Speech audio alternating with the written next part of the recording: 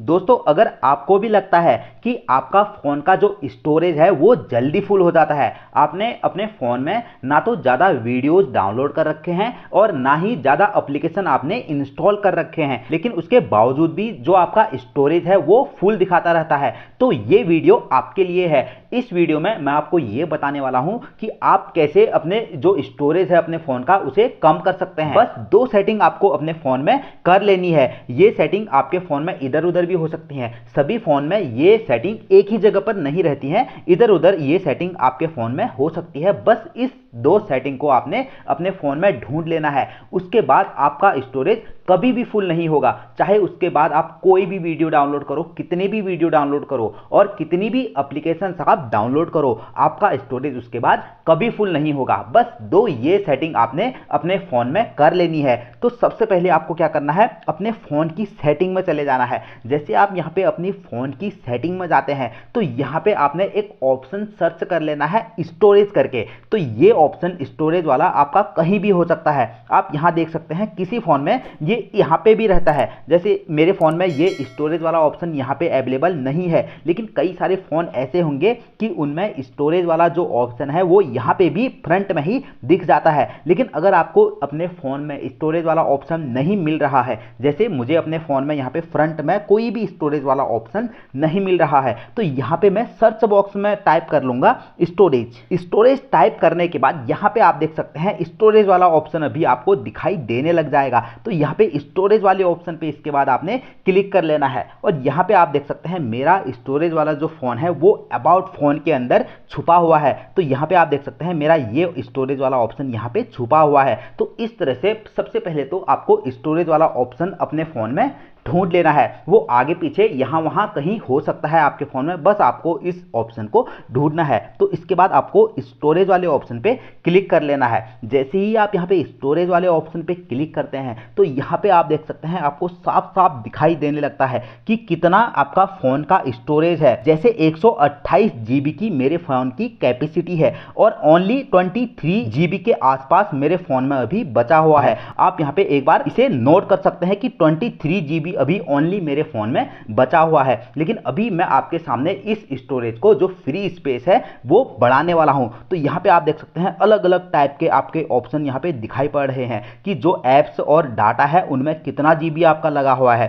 Thirty eight जी जैसे आपका app और डाटा में लगा हुआ है। लेकिन मैंने उतने ज़्यादा भी ऐप्स इसमें डाउनलोड या इंस्टॉल नहीं कर रखे हैं, लेकिन इतना ज़्यादा इसमें लगा हुआ है। इसके अलावा यहाँ पे आप देख सकते हैं वीडियोज़ में भी काफ़ी ज़्यादा जीबी मेरा लगा हुआ है। थर्टी फोर जी के आसपास मेरा वीडियोज़ में लगा हुआ है। मैंने कोई भी ज़्यादा वीडियोज़ मेरे फ़ोन में अवेलेबल नहीं है। बस इक्का दुक्का दो चार वीडियो ही अवेलेबल होंगी, लेकिन ये फालतू में पता नहीं यहाँ कहाँ से इतना जीबी के मेरे फ़ोन में वीडियोज़ आ चुके हैं। और भी कई सारी चीज़ें हैं, यहाँ पे आप देख सकते हैं सिस्टम फाइल्स अलग अलग टाइप के यहाँ पे आपका स्टोरेज किसमें कितना बटा हुआ है, ये दिखा रहा है। तो सबसे पहले तो आपको यहाँ पे ये देखना है कि कहाँ आपका स्टोरेज ज़्यादा किस चीज़ ने खाया हुआ है। इसके बाद यहाँ पे आप देख सकते हैं क्लीनर वाले ऑप्शन पे, जैसे ही हम यहाँ पे क्लिक करते हैं तो यहाँ पे अभी ये हमारी जो स्टोरेज है, वो क्लीन कर रहा है। तो यहाँ पे अभी आप देख सकते हैं क्लीनर वाले ऑप्शन पे क्लिक करने के बाद, यहाँ पे सबसे ज़्यादा जो इंपॉर्टेंट चीज़ है, वो है कैची फ़ाइल जो कि हमारे फ़ोन में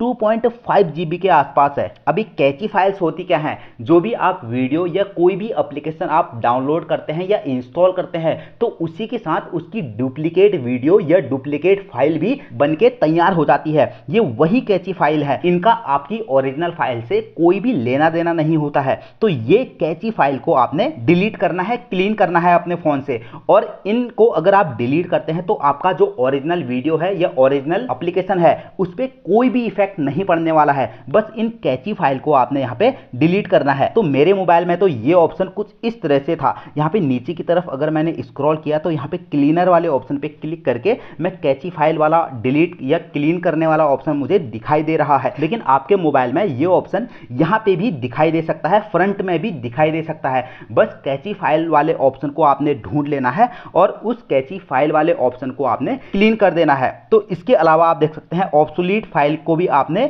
डिलीट कर देना है। लेकिन यहाँ पे आप देख सकते हैं, ये पैकेजेज वाला जो फ़ाइल है, वो आपको समझ में नहीं आ रहा होगा, ये क्या चीज़ है? तो इसे अभी तो फ़िलहाल आपने ऐसे ही रहने देना है। तो फ़िलहाल तो अभी हम यहाँ पे तीन चीज़ इसमें डिलीट कर रहे हैं। यहाँ पे मेमोरी भी आपने इसमें डिलीट करनी है कि मतलब जो आपने अप्लीकेशन इंस्टॉल की हैं, उसके अंदर कुछ एक्स्ट्रा चीज़ें भी रह जाती हैं। इससे आपकी जो अप्लीकेशन है, उस पर कोई भी इफ़ेक्ट नहीं पड़ने वाला है। सबसे पहले तो आपने ये चीज़ इसमें क्लीन कर देनी है। मेरे फ़ोन में ओनली टू पॉइंट के आसपास कैची फाइल्स हैं, लेकिन हो सकता है आपके फ़ोन में दस जी बी पंद्रह जी बी बीस जी बी के आसपास भी कैची फ़ाइल हों।